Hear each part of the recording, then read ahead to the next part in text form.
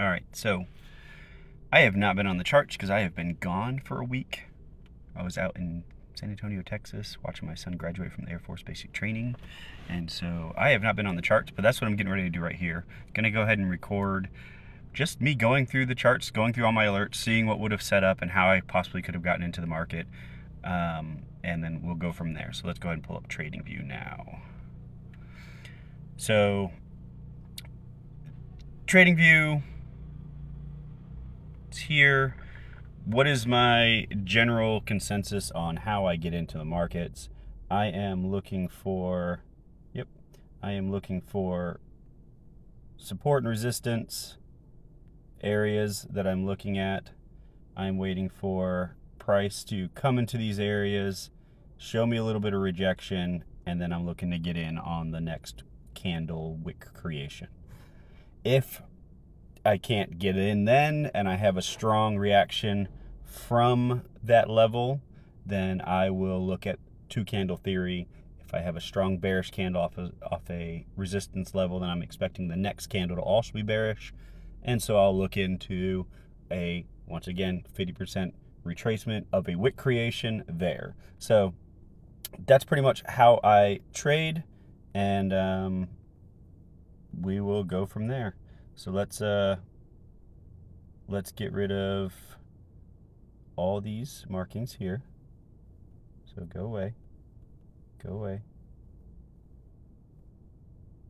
Um, nope. Let's get rid of all these markings here. Clear the charts out.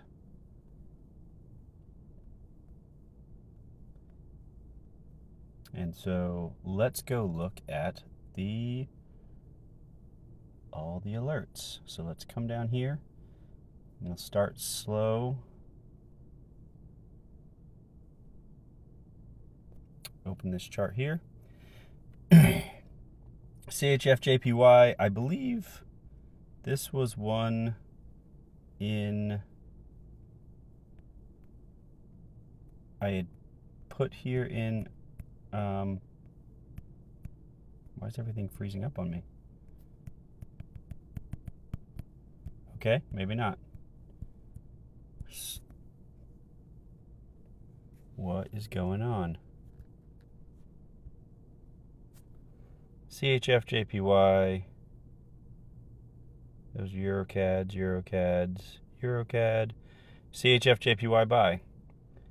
It was just not going. So that's that's the only reason I got out of that one. it did not go at the time that I was expecting it to, but it eventually did and made all its way up there. So that's that one right there. Probably had another alert. I probably had the alert at the take profit since uh, I have one down here at the stop loss. We'll get rid of that one. And then basically I'd come in here and clean the chart up. I'm probably going to wait to do that till I actually get to the computer, although um, that upper level there looks fine. I have nothing new that has been created. So this will probably be the next level, but then I also have a lower level there that we could possibly get reaction from. let's see. I don't really care for that one. I'm gonna leave that one alone. So let's get rid of that guy. So that's all we got for right now for CHF JPY. Let's move on.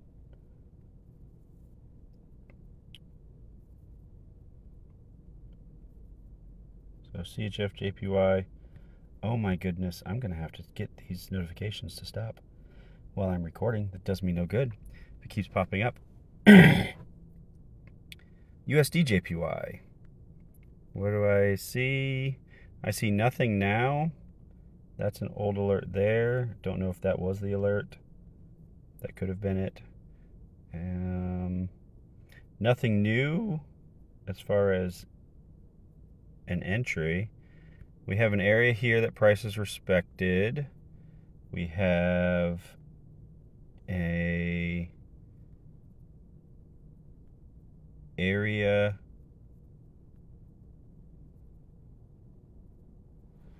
oh that's not good okay we have an area here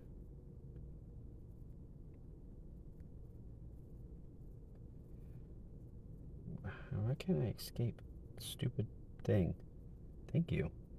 Good gracious. Look there. Nothing has developed. Nothing has developed in this area. So we'll leave that alone. And we will just get rid of that. That's fine there. Let's go to the next chart. Looks like I had a UP, USD JPY there. That can go away. We can come all the way down here. USD JPY. Delete that one. We have GBP IOD. go there. Where was this alert at? No idea. It's okay. What do we got now?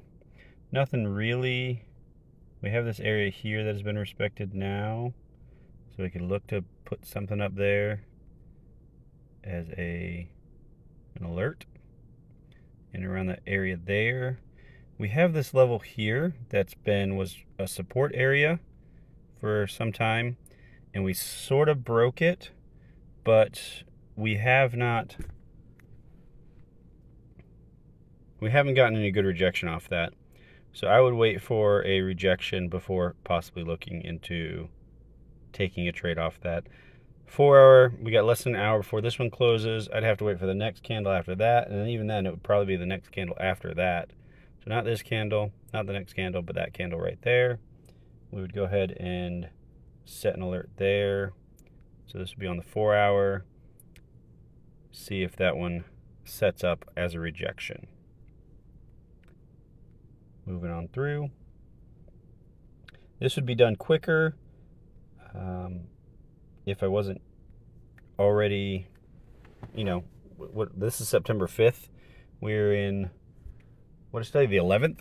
So September 11th, so we are six days behind. If I was staying up on this all while I was on my trip, it would have been all right. So as we were just on that other chart before, this is what we're looking for here. So as you can see here in this area, once price broke this area, came down, came back in, we had a rejection there. we could take the wick creation of the next candle to come in. We could also possibly take the wick creation of the third candle and could have possibly made targets at that point in time. So we shall see how that goes. Right now, NZD USD have nothing in the current moment. Um, this is the recent, most recent high area that created that very shallow low, but it's still, we could get some sort of reaction out of that. So we'll leave that there. Mark all that up. NZD USD is done. Scroll all the way down to the bottom. Get rid of you. and We'll move to NZD CAD. This one's been going sideways. Was looking for a bounce out of that area down below, as you can see here. Was waiting for a, a zone there with a bounce, wick rejection. We got some wick rejections. Could have possibly got an entry there. Didn't get a bounce out of this zone once it came back in, but as you can see, it uh, blew right through. So no biggie there. We'll leave these guys there. I will put in another alert down in this area because it seems to be respected. Now this one I'm going to get rid of because it has not been respected. We will shore up this one a little bit for more recent price action here. So I'd want to see somewhere near these highs, and then we'll leave that alone.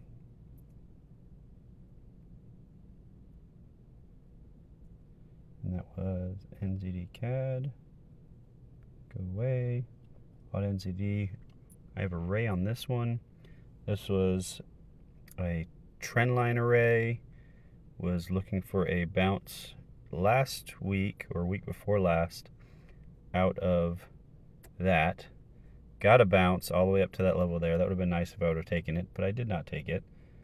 So we'll get rid of this ray and this ray right here. And then what do we have? We have a level that has been respected up here and could possibly come down and test it again. We've been creating lower highs all the way down. This is another lower high area, although we are currently in that area. So let's see how we react in the next couple hours to this one right here. So if you don't see what I'm seeing, this is the lower or the higher low. Higher low? No. Lower high that created this low. And so if it's going to continue down, it should not break and close above this area here. And so if we can get a strong bearish candle like this one right there, then we could possibly look to take the next bearish candle and continue on down. We'll see how that plays out though. Hot NZD is done. And so most of this is pretty quick. I already blew through that one since we got rid of the ray. So here would have been another setup of USD CAD, break and retest. We just had a resistance there. Price came, broke above it, tested once, came down, actually tested much deeper. Uh, would have gotten an entry and then looked to take a second entry. And so I had marked both those up, never actually took them. And then, uh, and then had another alert up here which seem to have triggered. That's probably what we're looking at right now. Um, it's from way in the past. So it would have worked out if you held longer and didn't close with this strong, uh, relatively strong bullish candle right here. That could have probably freaked me out or anybody else who might have been in this one and closed it before it finally rolled over. Um, if you aren't one to generally watch your trades that closely, then who knows? You may be in a good situation right now if you took that one. So what do I have now? Well, I still have this area here that I will look at. We'll get rid of these guys. That is no longer valid. But now we have this area here where prices come in and respected. So we'll leave that there. This area is now much bigger and we could possibly come up in here and see, you know, something like a double top or something like that in this area. I think I would want a little bit in the high of this area there, less than the middle, just because of where it's actually respected or bounced now before. So it'll give me a little bit more um, comfort in taking that trade. USD CAD is done. So let's get beyond that one. Delete. NZD CHF.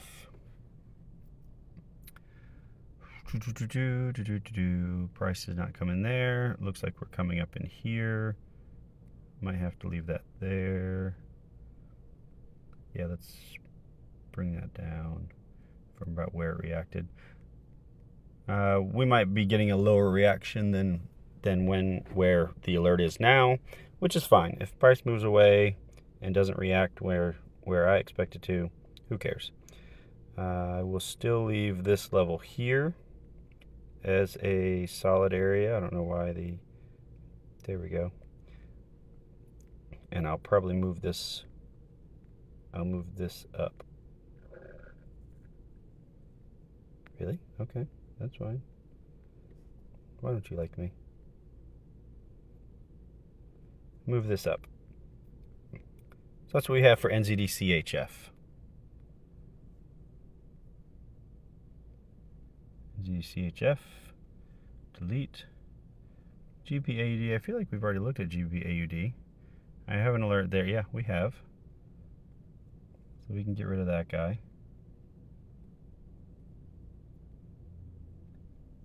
And then GBCHF. Had some ray crossing right there. It was respecting that. I've support and resistance is is perfect, um, but I was looking at adding, you know, just when they're crystal clear lines that have seemed to be respected, it's like those make sense to add. The all I'm doing is increasing my trade taking, and by increasing the amount of trades I take, I could possibly end up hitting my goal faster, uh, especially if I'm managing it the same exact way. The idea being, you know, if it doesn't look like it's going to uh, do what I want it to, to get out early. If it looks like it's going to do what I want it to, to add to it, or at least let it run.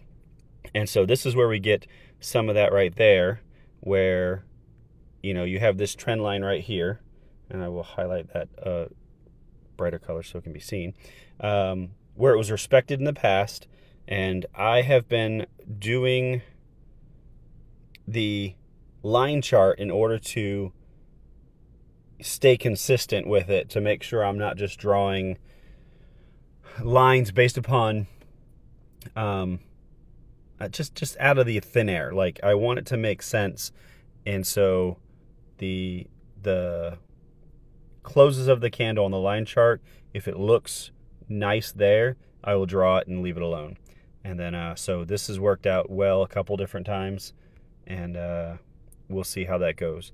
I don't take very many off. I don't take them very often. The trades off of a trend line, but I have started to incorporate it in my trading style, my trading journal, my trading plan. So this is all I have for right now. It looks like we're just going sideways for quite a bit, so I'll leave those higher levels there. And we'll come down here to Euro USD. USD JPY is right after that. I'm pretty sure we've already done that one. Um, see, here's another one with the trend line. That one is directly off the tops. I think, I don't think I actually did. Yeah. Um, it, is off the tops, but it's actually off the tops of the, uh, the uh, line chart, as you can see there. And it just makes sense once you actually come back to the candle chart to see that it lines up pretty nicely. So that might be another area that I look to take a trade. That's why they're alert there. I'm looking for this break and retest on this level here, if price can get there. Price never actually got down low enough to trigger that trade down there. Um, so, which is fine. I don't know if I'll take a trade off of it if it does trigger now that you've already bounced from here.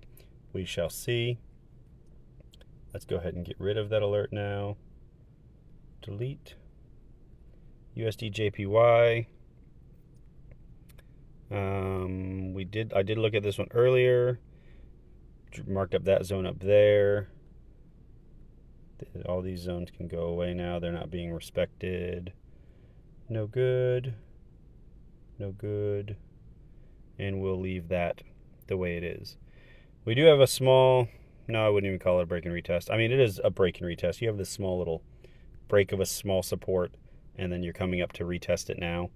Um, I would might look to possibly get in there. If price can come back in there again and show some rejection, I might I might look at something like that. So we'll leave that alone. USD JPY. Delete. NZD USD. I feel like we've cleaned this one up already.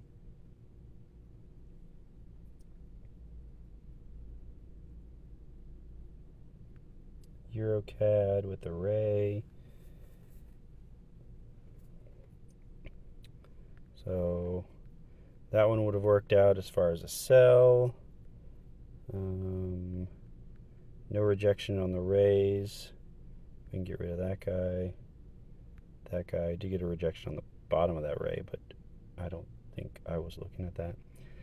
So now we have this zone right here, which is no longer relevant. That zone was clear earlier. This zone up here is still clear. This guy can go away, as we just said. That guy up there, he's still good. This guy down here, still good. We can actually go ahead and zoom him out. That seems to be the next level that we will hit unless we actually start getting some clearer structure on the way down. I don't see anything that's clear. So we will uh, leave that alone.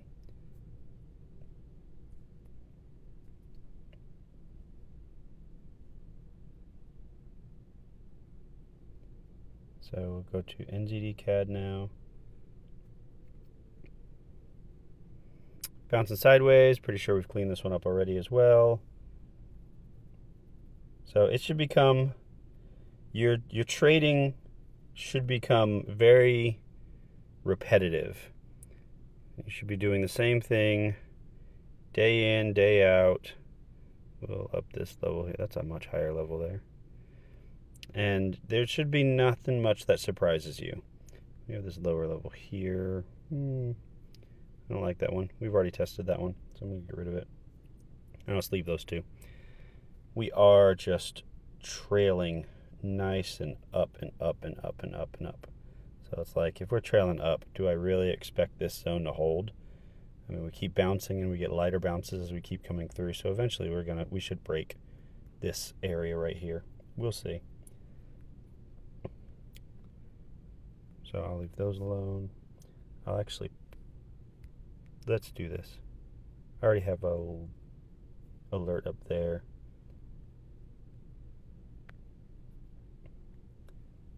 So CAD JPY.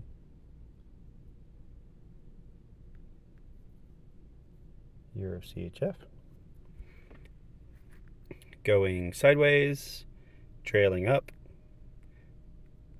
If we could trail up further and look at this area right here as a break and retest, that would be something I would look towards. So let's go ahead and set that guy up. and we're just looking for a little further push up, come down, and then retest, and we'll be good to go. So I'll wait for that.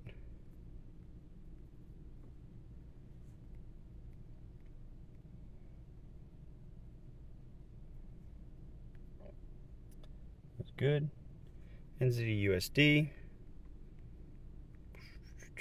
Same Nothing much.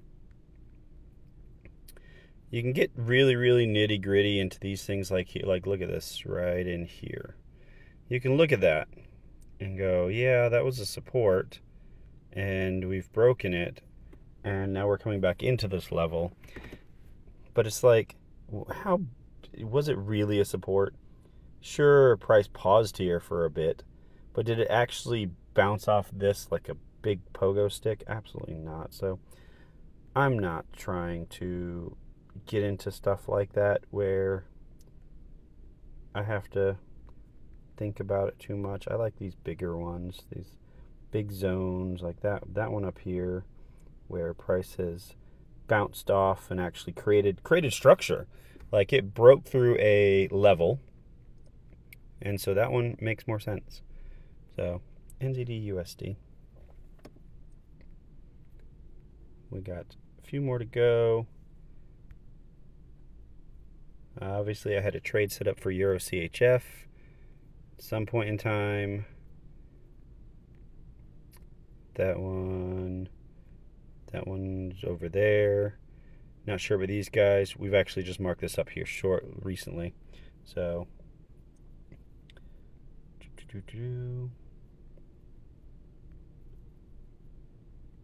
I think a lot of these we've already we've already hit.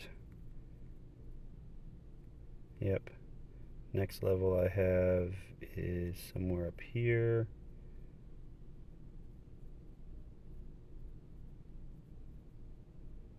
Right around this area there. We got this area just like that that we're looking for. So once price can get up in there, we'll see how price reacts.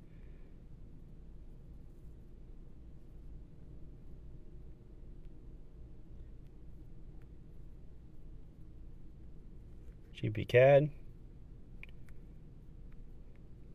GBCAD, we had a break and retest. That was nice. What was uh was 708.36. So yeah, that was that was in in this area here. 708.36, somewhere in here. We were waiting for price to come back in here, give some rejection and bounce away. It did. Good, lottie dotty, that's great. Missed that trade though, which is okay. There will be others. And so now we're just we're waiting. If price is going to continue down, we go to another break and retest area that we can actually look to take another trade. If not, then um, we move on to a different pair. It's just that. It's just that simple. Let's not complicate it. Let's not do way too much. In CHF, we've already bounced off this area. Now it looks like we're breaking through. If we could get a nice little pull up here, a little bit more, and then come down, could possibly look into taking that trade all the way up. We'll have to see. It definitely has to push away from here now. Um, we haven't fully broken above it, so I'd hate to get caught in in just a little spike that ends up rolling over. So we'll see how that works.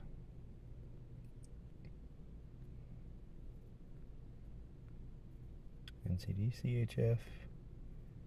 Already marked up this one too. Oh, good. We're getting close to the end. Did I see another NZD CHF? I did. Delete. And we have two Euro NZDs. We have three Euro NZDs. So let's get rid of all those.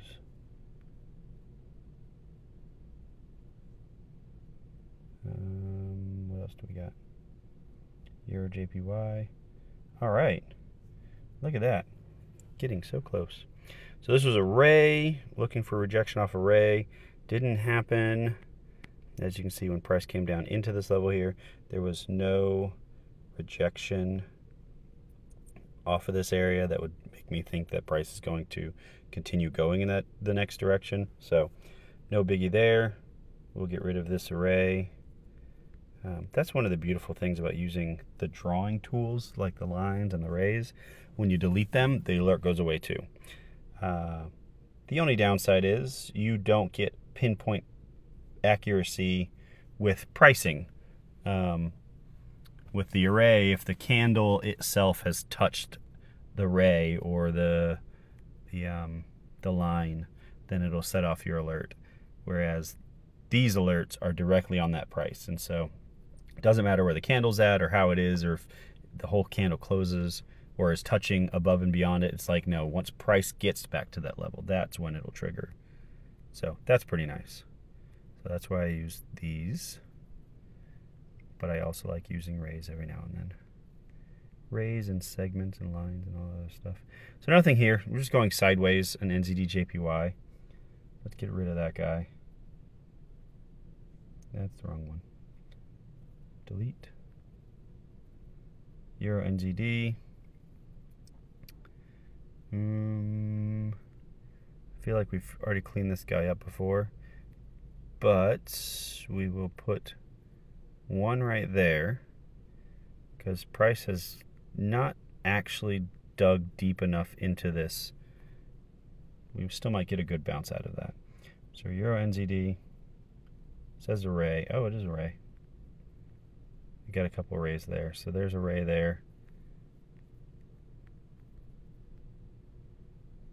So we got a rejection there, followed by two bullish candles. Don't know based upon that rejection, I don't think I would have got, been able to get into a trade because there is no bottom wick on that bullish candle for me to be able to turn and do the flip with. So there is another array a little bit further down. Um, if we look, zoom out there, we have, that's, um, we have, why does it say that it's, it's already been touched? That's fine. I'll leave it alone and just leave that support there. GBP JPY. We've already played with this one. Uh, price has already bounced. Has not pulled far enough away to get, make me feel comfortable. You could you could easily get a just a pop back up in here and then a test back on here and continue going up. And for you know those who do patterns, that's a head and shoulders. So that's a viable option. Um, I would look to something like that if price could come here. Um, I'd want to see that roughly near that shoulder area be touched again before it came back down. But uh, so yeah, don't know if it's going to go up, going down. It's it's it's too much right now, um, especially because you haven't fully really like done anything new. Like if you wanted to have, if this was a support area, then you haven't really broken it, and so it all depends on how you draw your zone. And so with that, I'm not touching it. I'm just going to leave it the way it is.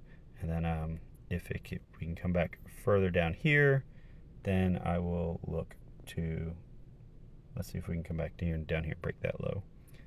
Then I'll look to actually get into a trade somewhere. And then uh, delete that one.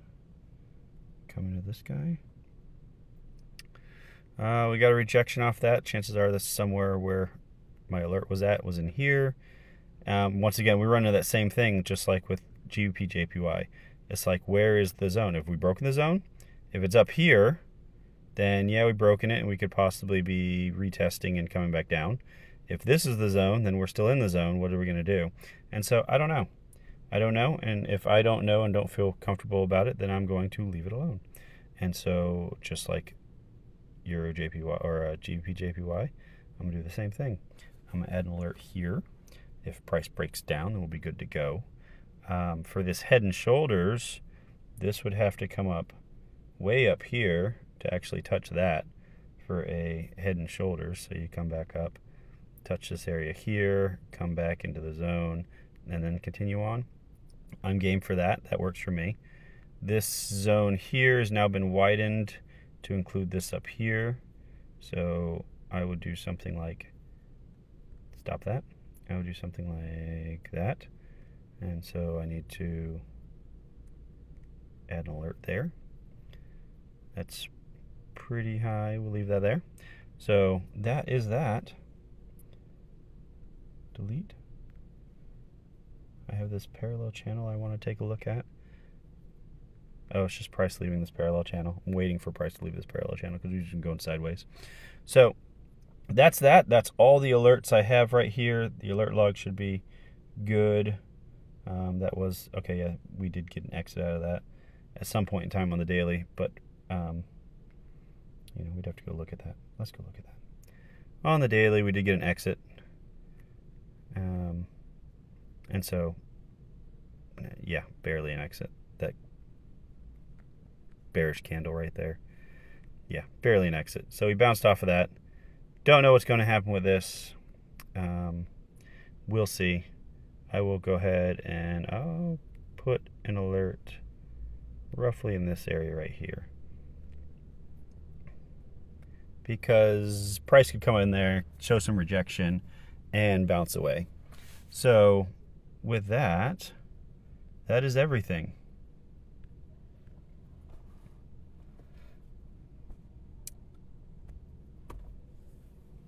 That's everything. So I've marked up everything, set off all my alerts, and now I'm just waiting for price to do what it's to do. And then I'll make a plan. So hopefully, if you're following along, hopefully you guys keep it that simple. Try to keep it simple. Don't overcomplicate it. Work on controlling your risk, controlling your patience, your fear, your greed. Um, a lot of this is to be about you and how you learn about yourself and can control yourself. The market does what it does. Trading's not too difficult for a concept the trade hardest part of trading is you learning you developing you working on you. So look forward to seeing you guys on the charts. I look forward to getting back on the charts and then uh, just enjoying the day. All right. You guys have a blessed time. Bye